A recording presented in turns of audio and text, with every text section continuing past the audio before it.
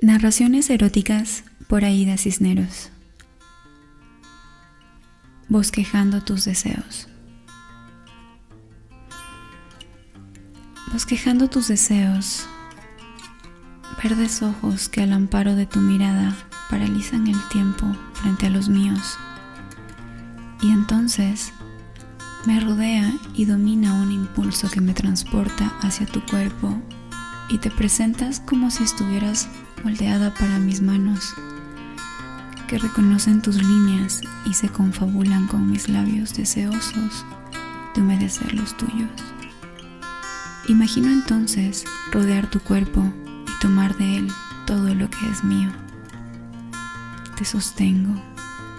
Estoy detrás de ti, con mi boca murmuro tu nombre, desde tus oídos hasta la bronceada figura de tus hombros.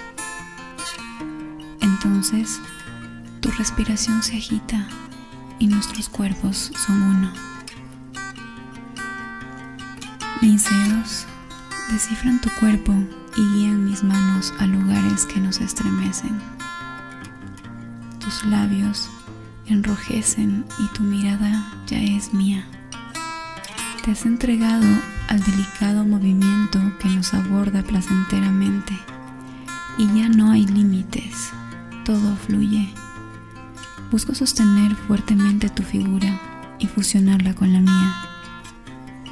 Luego entiendo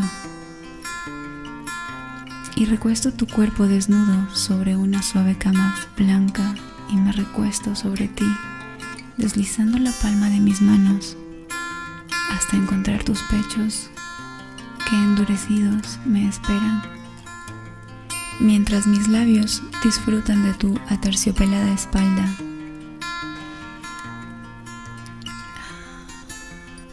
Tu respiración se transforma en deliciosos sonidos que me enloquecen.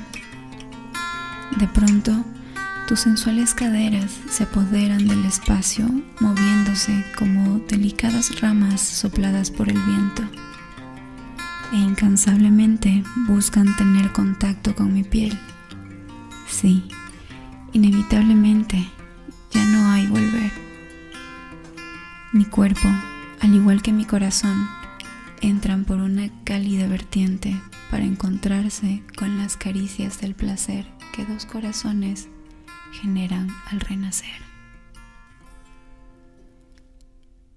Este apasionante poema llegó gracias a la colaboración de Gemaro, Chile.